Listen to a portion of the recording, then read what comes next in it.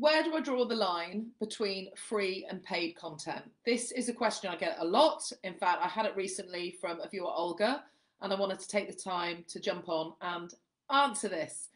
So, if you're a coach or consultant or trainer, you're in the transformation business and you want to get more clients, there's a very good chance that somewhere along the line someone has said to you, you need to create free content. You need to create, create free content because that's what's going to help position you, attracting potential clients. But because of that advice, and it is good advice, I'll explain why in a second, a lot of people then have a dilemma well, where do I draw the line between free and paid content? And I think as I examine this, that the, the question behind that question is, well, if I um, give too much away, then it, why would there be any reason for people to pay me because they've got all the stuff for free? And um, I don't, if I don't give enough, then will people really get to see the value of what I'm offering? So what happens is then this question: What's the difference between free and paid content? Where do I draw the line?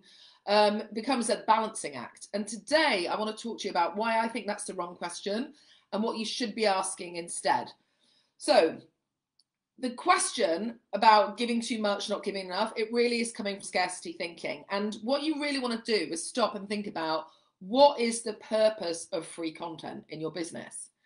So, when I first used free content in my business, and I was using free content way before I had an online business, so I'm going right back to the 90s when I used to write articles for a trade magazine. And at the end of my articles, I used to invite readers to um, phone me, actually, this was before the internet, to get a free report that I had offer where they could find out more. And so this is a proven strategy for getting people to raise their hands. And back then, that was how I was using it. I was offering out free content to help me identify the most people who the people who are most interested in solving the problem that I could help them solve. And then, this is a crucial bit, after I gave them the free content, it also triggered um, a series of messages from me where I was aiming to get them to then go on to purchase what I was offering. So, what I'm saying to you here is there is a difference between getting people to raise their hands and then turning that raised hand into paying business. So, if you've struggled with getting free content to work for you to help you attract more clients, my guess is because you're getting those two things muddled. But I would say the biggest mistake that I see coaches and consultant makes when it comes to free content is the assumption, well, if I just keep churning out free content and just keep people giving people lots of free stuff, then sooner or later they're going to be ready to say yes to what I'm offer, offering. And actually, you have to be much more strategic about that. You need to make the distinction with your content what is the content that is going to get people to raise their hands? So I'm going to get get to find out like who are the people who are most interested in what I'm offering, and they're going to get something out of that exchange too. They're going to get some something that helps them solve an immediate problem.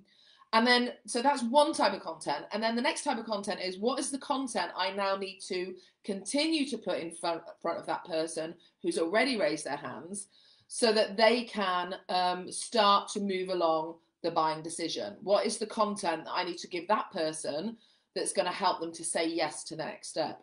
They're very different things. So you need to be clear when you're creating content. What is the purpose of the content you're creating? If you're just churning out content to share tips or in the hope that, well, this will help people and so hopefully they'll end up buying from me, you are not being strategic enough. You need to be very, very clear. So the win-win in uh, you know doing it this way is I was getting to identify these are the people who are most interested in solving the problem that I can help them solve. So now I know who the people are that I need to follow up with. But that was a key piece behind the scenes that isn't always sort of visible to the naked eye. Is just how much happens after the person has raised their hands to get them to say yes to the next step. In my business now, I like I have email sequences that that actually go on for weeks to achieve this purpose of turning that raised hand into paying business. You know, it takes much more than one step. And so you need to be asking yourself two questions. It's like the question to get people to raise their hand normally is content which um, solves a specific problem. It has a nice hook and it can give some immediate benefit, immediate gratification. That is great content to get people to uh, raise their hands. The content that converts has to answer a different set of questions. It has to um, explain to the person why they need to solve this problem that you can help them solve, why um, the solution that you have is better than all of the other solutions that they might be considering, including doing nothing. Um, why they could should get this particular service from you or this solution from you, and and as opposed to all of the other places that they could provide this solution. It needs to do all of that, and it needs to overcome um, skepticism, any questions that they might have, and really, you know, anything that might stop them from saying yes to the next step. So content that converts needs to have a lot more thinking go into it to really guide people all of those steps. And it's unlikely that you're going to do it all in one step. Um, a good example would be a free webinar. I've, I've used webinars a lot in my business, and they can achieve the purpose of getting people to raise their hands and then convert them into paying business. But honestly, it's rare to do it in, in, in one step. It's the minority that will say yes all in one go. And actually, you need to be designing your conversion systems to actually answer all of those questions that might come up. So, when it comes to creating free content, don't make the mistake of thinking that if you just churn out tons of free content and kind of get yourself into a content machine, that that's going to create buyers from you for you. It doesn't work like that. You need to be strategic about what you're doing. You need to make the distinction between this is the content I'm putting out there that's going to get people to raise their hands and now here is the series of content I deliver to that person who's raised their hands with an intention of getting them to say yes to the next step, becoming a paying customer of my business. I hope that's helped you to make that distinction. I haven't heard many people talk about this, and I think it's important. So the question that you should be asking isn't, um, you know, what is, um, where's the line between free and paid?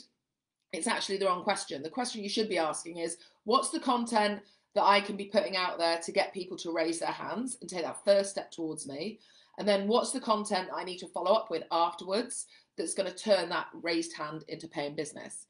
Um, if you have any questions, do drop them below. I do read them and they guide me in terms of what content I'm creating for you to serve you. And um, yeah, you know, maybe your question will be something that I answer in a future video. So until then, I hope this has given you something to think about. I'll see you next time.